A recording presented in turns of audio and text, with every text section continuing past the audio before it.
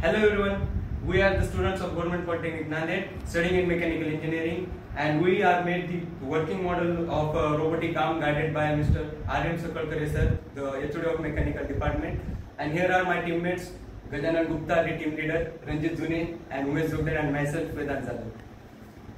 let me about explain about uh, our project uh, which uh, which parts we are used uh, we are used arduino as a microcontroller and uh, motors and servo motors as uh, actuators and uh, uh, pv sheet pvc sheet as here